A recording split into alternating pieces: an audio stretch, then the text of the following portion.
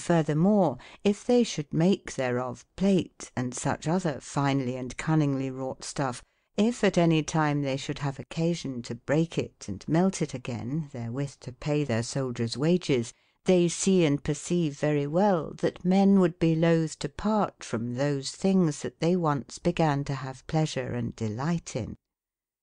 To remedy all this they have found out a means which, as it is agreeable to all their other laws and customs, so it is from ours, where gold is so much set by and so diligently kept, very far discrepant and repugnant, and therefore uncredible, but only to them that be wise. For whereas they eat and drink in earthen and glass vessels, which indeed be curiously and properly made, and yet be of very small value of gold and silver they make commonly chamber pots and other vessels that serve for most vile uses, not only in their common halls, but in every man's private house.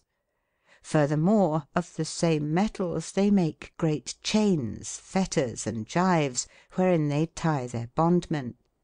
Finally, whosoever for any offence be infamed, by their ears hang rings of gold upon their fingers they wear rings of gold, and about their necks chains of gold, and in conclusion their heads be tied about with gold.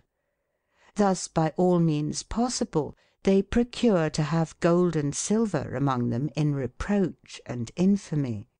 And these metals which other nations do as grievously and sorrowfully forego as in a manner their own lives, if they should altogether at once be taken from the Utopians, no man there would think that he had lost the worth of one farthing.